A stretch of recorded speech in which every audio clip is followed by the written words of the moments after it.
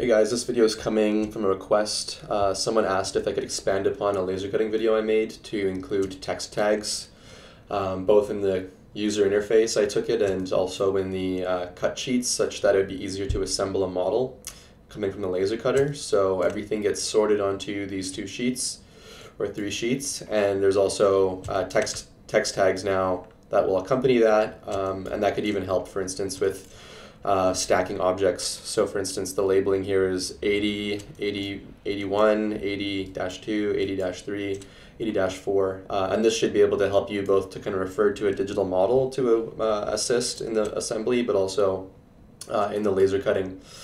Um, there's a couple things I didn't do, but we'll get into that near the end. So let's just get started.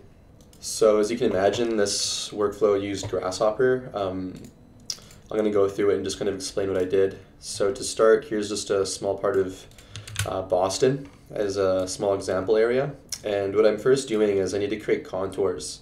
Um, but unfortunately the contour tool doesn't really work well for this, uh, as well as it's a bit slower than my way. So uh, I'll walk you through that. But the ultimate idea that we need to get to is we need that we need these uh, curves to be organized at a per building basis, right? Because we know that we want, for instance, uh, this building here, we can imagine to all work as a sort of in one list so that we can label from bottom to top as the same number of floors for one building. So that's what's that's what the ultimate goal is for this first part. So uh, we start with the contours. Um, we then I just grab the uh, bounding rectangle, which I think this actually comes from a plugin from Pufferfish, but you don't need it. We just make a bounding box, get the bottom get the bottom face and then do border that into a rectangle or whatever. I mean, I mean, you just need a bottom plane essentially, and then I'm just arraying that plane upwards uh, with this series component.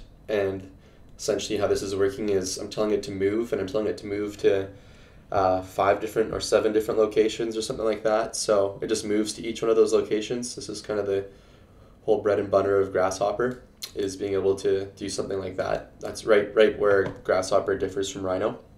And then from there, I'm using the intersection tool, uh, which then will intersect the original B-reps with the planes. Uh, that's super helpful, but then what happens is, am I recording this? Yeah, what happens is ultimately uh, the list is a bit, uh, a bit messy. What we need to do, um, oh mind you, I'm what I'm doing here is I'm grafting the building list with the plane list. So essentially every single building is checking for collisions with every single B rep. Um, and you only need one of them to be grafted uh, because essentially each individual building now is checking for each individual uh, uh, B rep surface. So we do that and then what comes out of it is um, a number of empty lists because certainly there's a number of uh, planes that miss all of them, as you can imagine. Uh, for instance, this one doesn't really hit any of them. So we have a number of empty ones. So ultimately what I'm doing that I need to do is I'm doing something called trim tree. And what trim tree does uh, is it, as you can see here, the first index of this path is 0, 0, 0, 0, 0. So all these are technically part of the same building. Uh, and then that's 1, 1, 1, 1, 1, 2, 2, 2, 2, 2. So it's like building 2, building 1, then building 2. And let's go find one was a couple, and I think near the end. So building 234, 234, 234, those are all the same building, and then these are the floors, building floor 0, floor 1, floor 2, floor 3, floor 4. So that's kind of how we want to go about this. Um, and all that we need to do then is we need to uh, trim this down, so it's to be trim tree. And that's really the, the mat. like that's really all there is to it for the magic to this uh, script here. And you can see now this has all been compounded into one list. And those are the floors. So it's building 230 floor, building 234, and then floor 1, floor 2, floor 3, floor 4, floor 5. So that's kind of uh, what we needed. And then uh, we now that we have that, we it's pretty simple. Um, we can create labels. Uh, so the first thing we know is that we want to have the index here represent the floor essentially. So we can just use the list indices component, uh, which will just give you exactly what's happening to the left.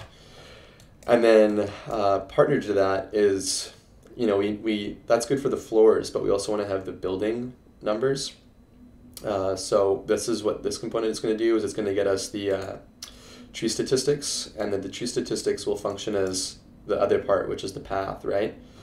So if I just go back a second, right, 234. So I was just extracting 234 to 234.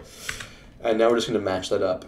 Um, the one extra thing I did, it's not necessary, but it would certainly help you with your grasshopper, uh, with your laser cutting, is that I wanted to remove the uh, parentheses around this. There's a number of ways. I mean, I probably could have just done a number. Let's see if this works.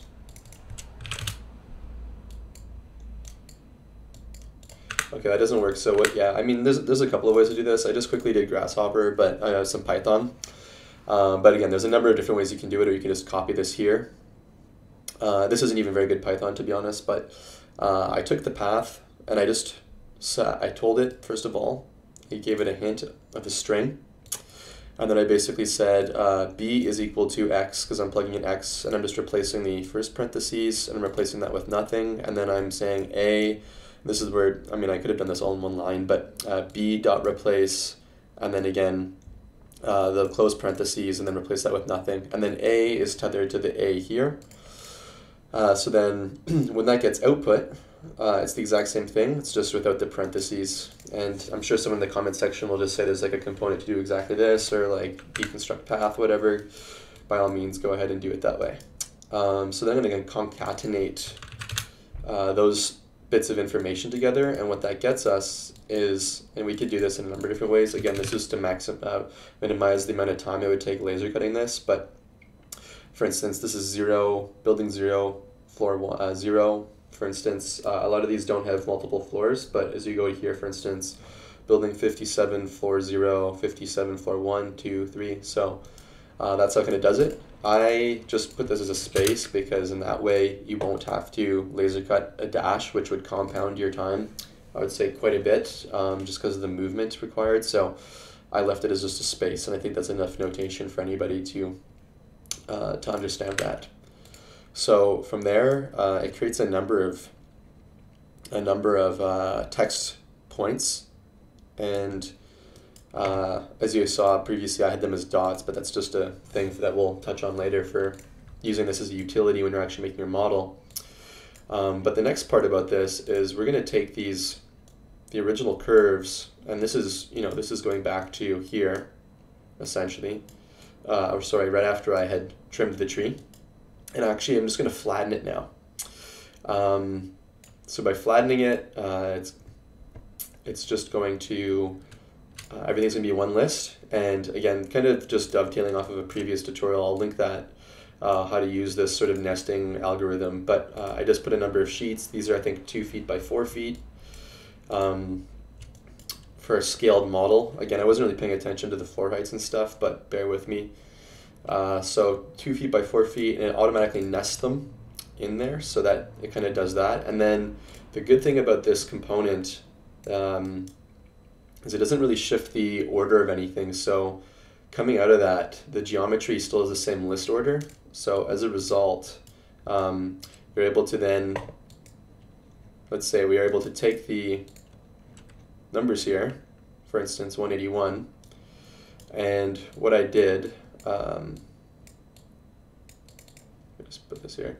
See, I grouped I grouped the numbers together because essentially right now is just these flaky numbers. Uh, they're all like just loose curves, which we don't want. Um, so I grouped them together to just kind of help with this sorting process. So now 181 is a whole, you know, 181-3 is a whole thing. And uh, I needed to take, I needed to move them because I know that the, essentially the list order is still the same. So I know I just have to move them back to their corresponding rectangle. Um, and to do that, what we do is we take the original area of the original B-reps.